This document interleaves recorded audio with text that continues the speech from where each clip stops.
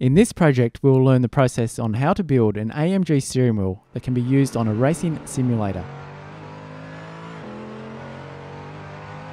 The design of the steering wheel started by searching for a few reference images of the Mercedes AMG steering wheel. From these images, a 3D model of the steering wheel is created.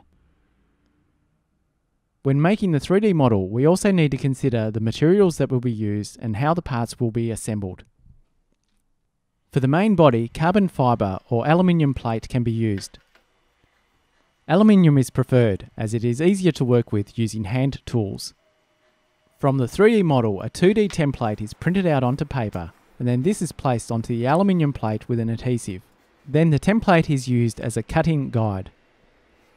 We can start cutting the intersections of the handles on the metal plate first. A centre punch is used to mark the inside drilling points. A drill bit bigger than the cutting blade is selected and this will make a hole larger than the blade, allowing the intersections to be cut out. Begin cutting around the intersections of the template, following the lines, allowing a fraction of a millimetre extra that will be finished later. With both the intersections of the handles cut out, we can start cutting around the outer edges of the template, creating the main shape of the wheel.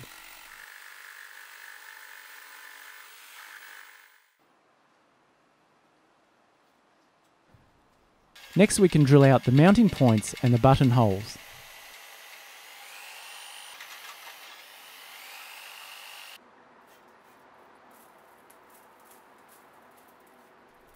Flat and round files are used along all of the edges to remove any sharp spots or cutting marks.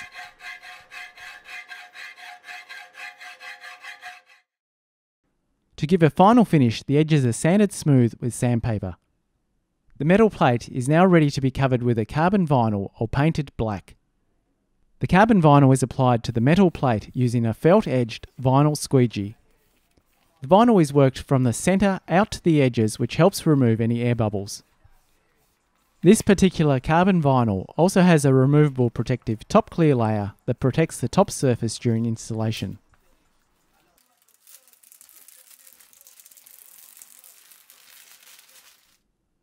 The carbon vinyl can be wrapped around the edges, but as this wheel was already painted black, it was carefully trimmed following the edge.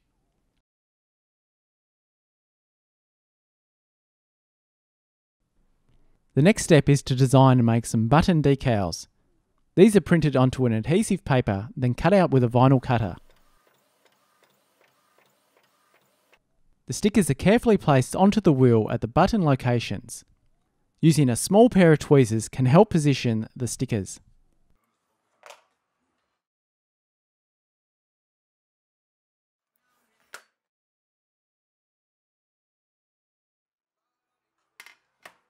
For the steering wheel, we will need a total of 10 momentary push buttons.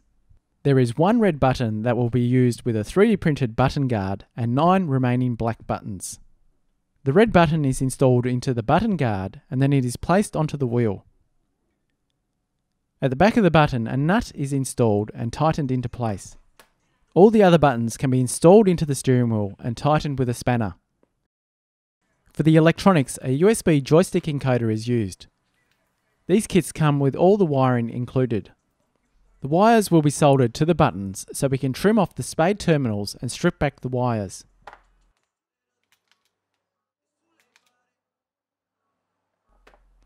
The top two buttons above the handles will be on the outside of the enclosure, so a piece of heat shrink is cut to length, and this will cover the exposed wiring and keep it neat. Before soldering the wires, the cut heat shrink is placed over the two sets of wires.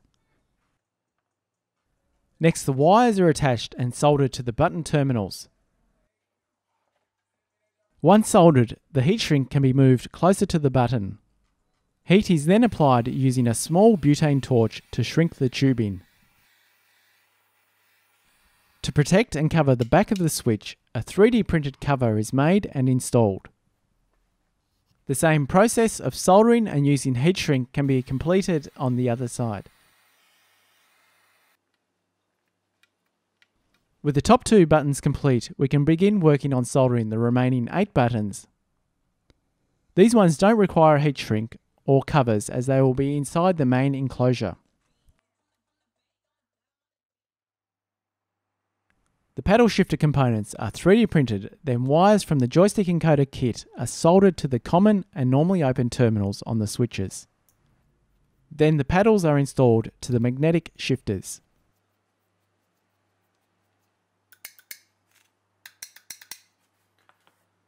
The enclosure is printed next. This will cover the exposed electronics at the back of the wheel, holding the wiring, the joystick encoder, and the magnetic paddle shifters. From the back of the enclosure, the wiring for the shifters are passed through the small hole, and then the magnetic paddle shifters are positioned into place. From the inside, the paddle shifters are bolted to the enclosure. The same process is repeated for the second paddle shifter, securing it in place with bolts.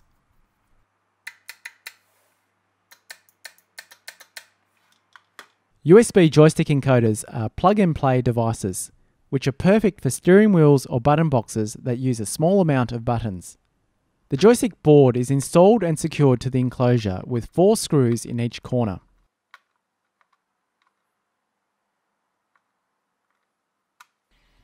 The next part to be printed is the hub spacer.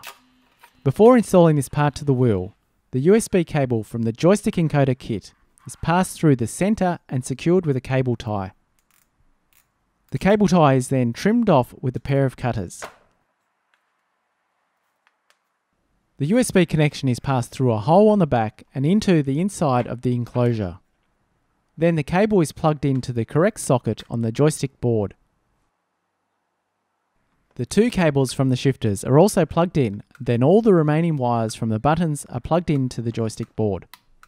With all the wires connected inside, the front plate and the enclosure can be aligned together. Check the two top button wires with the heat shrink are aligned to the slots on the enclosure before completely closing. From the front, bolts are placed through the wheel plate and into the enclosure and then through the hub spacer. Nuts can be temporarily added to the bolts before installing a quick release or wheelbase adapter. The handles for the steering wheel are the next items to be 3D printed. There are two for the front and two for the back. The handles can be installed straight from a 3D printer or they can be covered with suede. If covered with suede, the front handles have nuts pre-installed and a small drop of superglue is used to keep them in place. Then glue is applied to the handles and the suede is carefully shaped and trimmed around the handle. Once the handles are covered, a small hole is made on the back handles for the bolts to pass through. The front and back handles are installed to the steering wheel and the three bolts from the back are tightened.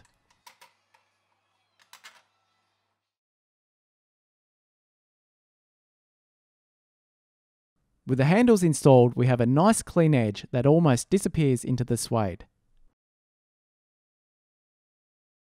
The final part to finish and complete the look of the steering wheel is to install a Mercedes badge onto the front.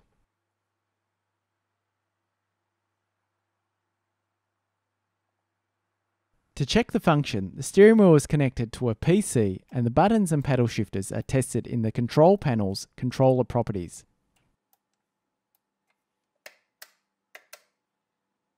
For compatibility, the AMG steering wheel can be connected to a Logitech, Thrustmaster or Fanatec wheelbase. On Logitech wheelbases, the steering wheel is quickly connected using a quick release adapter.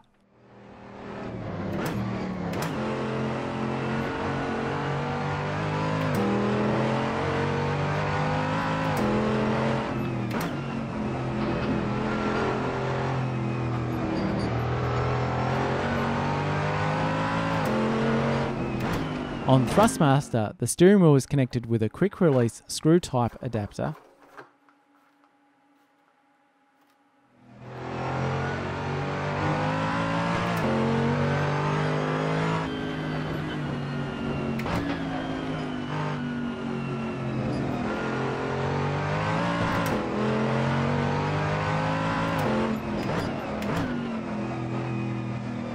and on Fanatec, the steering wheel can be connected using a podium or universal hub.